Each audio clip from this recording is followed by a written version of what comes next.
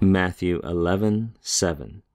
Touton de paruamenon, erxata ha Jesus legen tois achois peri Ioannu. Ti ex ilthate eistein erimon theasasthai. Kalaman hupa anemu saluamenon. Remember that John the Baptist's disciples have are now returning to John to report what Jesus has said to them and the things they've seen and heard.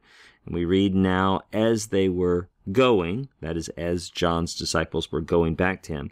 This is a genitive absolute construction. I'll remind you, a genitive absolute construction where we have a genitive participle, and we have a genitive noun or pronoun, in this case, the demonstrative pronoun.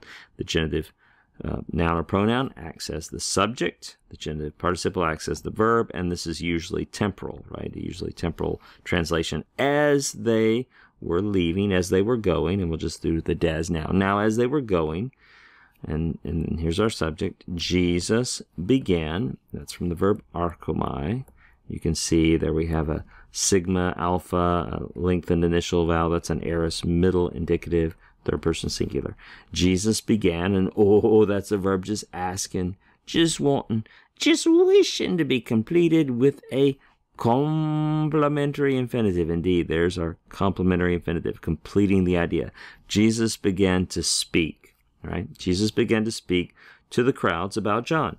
Here's what he said. What did you go out? That's from ex erchomai, just a second aorist. What did you go out in the wilderness to see? Right? Purpose infinitive from theaomai, the verb theaomai, to see, to behold, to look at, theaomai. And what we have here is an aorist middle infinitive. What did you go out into the wilderness to see? And then there's a bit of an ellipsis here. Did you go out to see a reed, like a, piece of tall grass, a reed shaken? There's an attributive participle describing the reed. Just a, it's from the verb saluo, to shake. I don't know if you know that word, verb or not, suo.